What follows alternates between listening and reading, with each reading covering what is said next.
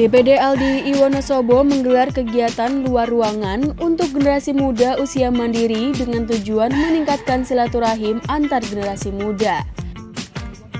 Acara tersebut dilaksanakan pada hari Minggu, 19 Februari 2023 di objek wisata alam Lembah Sikembang, Kabupaten Wonosobo, Jawa Tengah.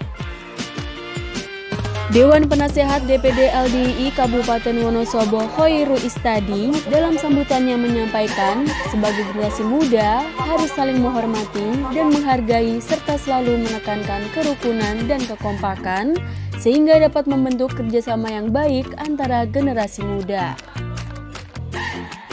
Acara yang terlaksana juga bertujuan sebagai ajang ta'aruf antara generasi usia mandiri. Bahkan, Ngadiran Budi Raharjo, pembina tim keluarga bahagia berharap silaturahim ini dapat mencegah generasi muda dari pergaulan yang negatif. Selain itu, generasi muda LDII juga dihimbau agar menerapkan karakter budi pekerti yang luhur, serta memberikan contoh yang baik dalam berinteraksi dengan masyarakat sekitar.